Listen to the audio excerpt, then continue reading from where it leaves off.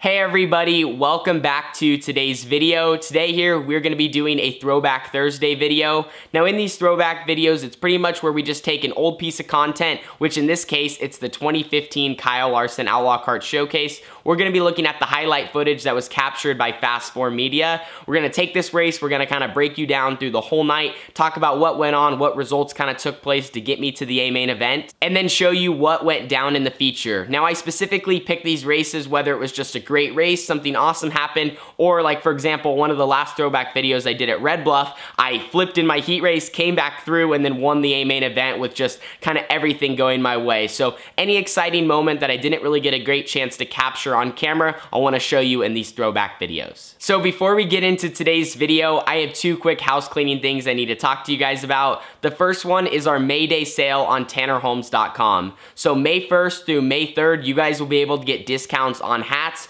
hoodies, t-shirts, and lots of other memorabilia available on our website. Now the link is at the top of the description if you guys would like to check it out, and the sale starts tonight at 12 p.m. Pacific Standard Time, midnight here on the West Coast. It's definitely a good idea to consider getting that memorabilia now while it's on a discount before race season starts. Now the other thing that I was gonna talk to you guys about, I sent out an email to everyone that applied, but recently I announced how I'm gonna do a 360 Sprint Car Triple Crown race on iRacing with a huge payout. I had to reschedule that event for May 12th, 13th, and 14th, so I just wanted to let you guys know. If you still would like to apply, you can fill out the form that is also at the top of the description. From there, we will send you a bunch of emails on what's going on. We've already had some people enter and pay their entry fee, so if you wanna get on that list, we have about 50 spots left. Contact me immediately at my email and make sure you fill out that form. So now let's jump right into the story time for the 2015 Kyle Larson Outlaw Kart Showcase. So if you've been a viewer here on the channel for a while, you know I talk about the Red Bluff Outlaws a ton. It's my favorite outlaw kart track to go to, and the truth is, I've really just had a lot of success there versus other racetracks. But today's video is all about the Cycleland Speedway. In Cycleland, I'm not gonna lie, I've really, really struggled there in the past. Now at Cycleland, we have had a few successful nights, but at Red Bluff, we've just had a lot more successful nights, and the stats definitely show this. I have 38 career wins at the Red Bluff Outlaws. At Cycleland, I have five.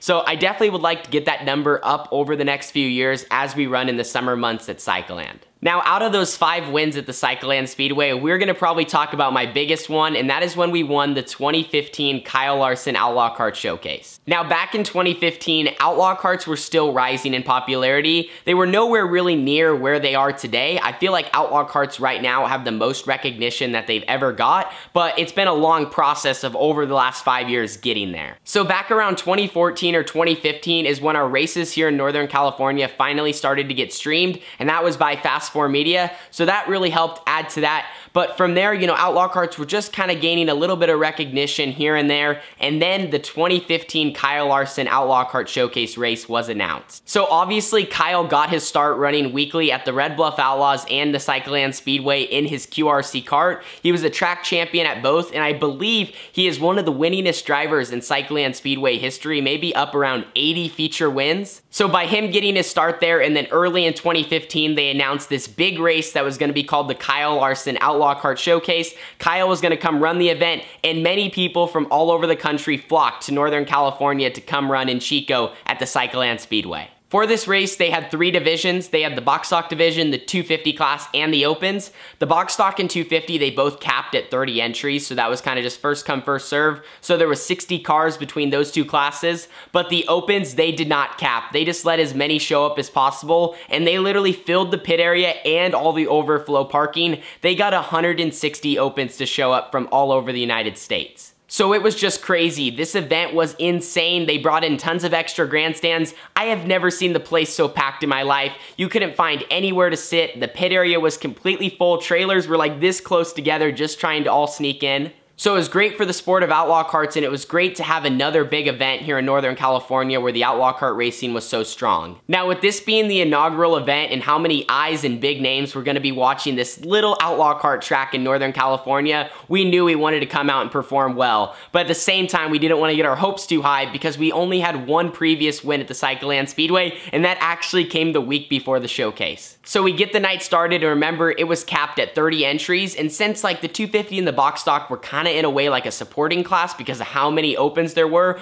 We just didn't really get the greatest racetrack. Once you qualify 160 open outlaw karts, the track was dead slick close to lane rubber. So pretty much when we went out there, it was just really, really weird. It was all about kind of just trying to lay down the best time possible as it was all about a points format adding up between qualifying and your heat race. So I believe we qualified like 8th, 9th, or 10th, somewhere in there. Not very good start to the night. But then in the heat race, we bounced back. We started like 10th and we were able to drive it up into the top four, which that was really, really good for points since the track seemed to be challenging to pass. So many of the guys that qualified really, really well did not get that far up front. So therefore, we got so many passing points, leading us to start fourth in the A main event. So with the car count and the track conditions that we were provided with, we knew everyone was gonna be fighting to get to the bottom as soon as possible. It seemed like it got really abrasive right there before the feature, maybe even formed a little bit of a rubber lane, so a lane off the bottom was probably the highest you wanted to go on the track, maybe two lanes, and we had to set up our race car to maybe go up there in case we had to try to run around the guys running in the rubber on the bottom. So setting my race car up to run the Donny line was a great idea. As you will see, we were able to maneuver in and out of traffic kind of around the outside of cars, go under race cars, and then we got into second when the leader's engine stumbled on the start, started to lay down. We got into the lead and never looked back from there. Check out this highlight footage captured by Fast 4 Media. We appreciate them letting us use this for today's video. Thomas with a bunch of main event wins this season. Tanner Pettit with none. He's only ran about half the year here with us. A great showing by Pettit here tonight as we're going to go green this time out of turn four. Green flag waves we're underway. Pettit with the advantage into one and two. Tanner Pettit your leader, but Tanner Holmes right behind him. Tanner and Tanner on the front row, but we got a stack up. Stack up on the front straight, stack up on the back straight as well. And we got more carnage.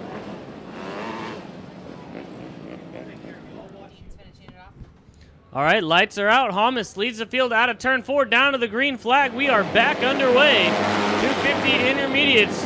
Main event, Dawson Hamas, your leader. Tanner Pettit runs in the second spot. Look at Peyton McKinney work the outside of turns one and two down the back straight. McKinney making moves on the outside of the racetrack.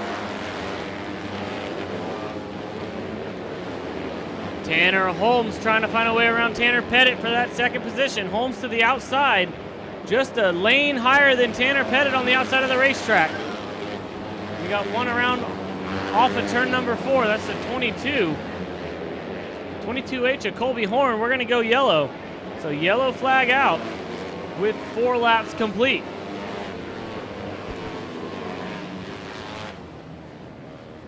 Lights are out. We're set to go green this time out of turn four. Can Hamas hold off Tanner Holmes in the second position?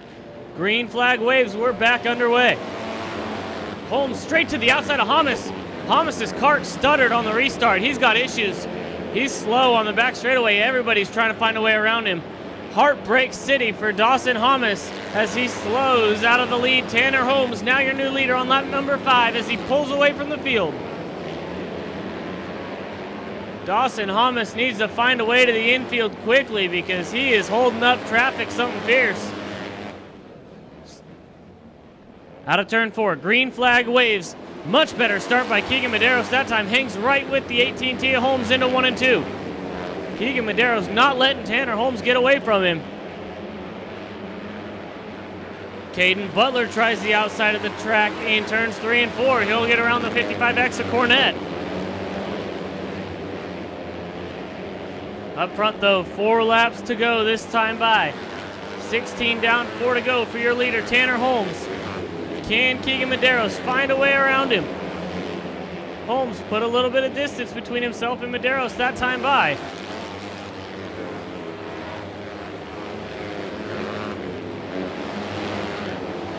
These drivers may close in on slower traffic before the end of this one. Two laps remaining. Can Tanner Holmes hang on to it for two more laps? Out of turn four, white flag waves, one to go for the 18T of Tanner Holmes. Final time down the back straightaway. The 12-year-old from Jacksonville, Oregon picks up the biggest win of his career. Tanner Holmes, your winner in the 250 intermediate main event.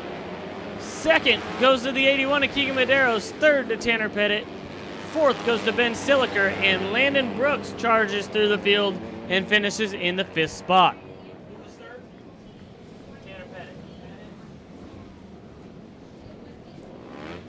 So Tanner Holmes, 12 years old from Jacksonville, Oregon, picks up the win in the Durango RV Commercial Collision CNC Tires Sundance Signs Johnny Cat number 18T. That's Tanner Holmes, your winner. Caden Butler ninth, and Jaden Bartlett rounds out the top 10.